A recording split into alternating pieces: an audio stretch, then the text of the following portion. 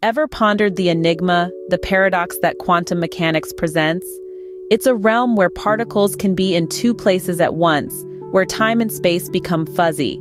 But what if our current understanding of quantum mechanics is not the complete picture? What if there's more to it than just protons, neutrons, and electrons? Indeed, every physics student is taught that light is a relationship between electric and magnetic fields. This relationship, a right-handed one, is so ingrained in our understanding of the universe that it's hard to imagine anything else. But imagine we must. Enter acasa, a concept that introduces a third energy to the atomic equation. Neutrons, those neutral particles in an atom's nucleus, have an orbiting counterpart. This counterpart, much like the electron, has quantum states and can absorb and emit energy. Yet this energy is not solely electric, it's a blend of electric and acasa energy. This energy behaves in a left-handed manner, the antithesis to our right-handed understanding of light. Now we know neutrons exist within the atom because they have an electric field component. But because this field operates in a reverse fashion to the electric field in which the proton exists, this left-handed electric field is invisible to the naked eye. Introducing Acasa into the mix reveals an exciting relationship. A changing right-handed electric field induces a magnetic field, whereas a changing left-handed electric field induces Acasa. By extension, a changing Acasa field would induce a left-handed electric field.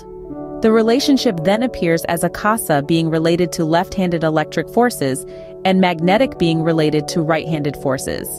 But wait, there's more. If Acasa and magnetic are related to left and right-handed forces, there must be a third reference frame of handedness, Let's call this I-handed, an homage to the square root of negative 1 in mathematics. An I-handed magnetic field would induce an I-handed Acasa field, creating a circular relationship. This hypothesis suggests a third fundamental particle in the atomic nucleus, alongside the proton and neutron, the itron. The itron expands into a dimension outside of our perception. This is the reason why it remains undetected by science. The relationship between protons, neutrons, and itrons are all attractive. And since the upspin is inconsequential to the downspin, the forces inside the atom are not repulsive until the third proton of lithium is introduced. That third proton is experiencing the attraction of two neutrons and two itrons and one opposite spinning proton, while the repulsive forces are solely provided by a single proton with the same spin.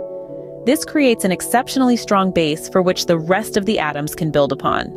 Evidence of this relationship can be traced back to the hydrogen isotopes, where it is possible to have one proton with one, two, or devoid of neutrons.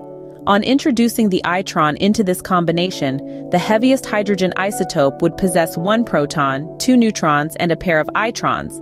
Just as electrons have an up and down spin, the neutrons and itrons would have an up and down spin.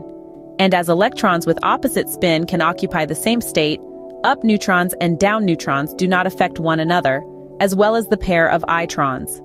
The next stable addition to this heavy hydrogen must be a proton, of opposite spin. It is this relationship that allows a hydrogen atom to have one or two neutrons. These discoveries have been overlooked by science, but it is possible to see evidence of the elusive neutron orbiting counterparts in water if we promote a freestanding neutron to something more like a hydrogen atom.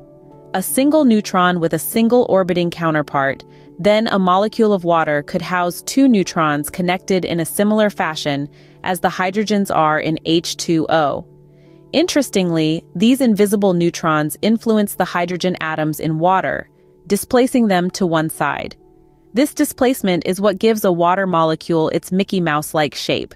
But since we can't visually discern them, we are left to merely observe the effects they exert on the hydrogen atoms.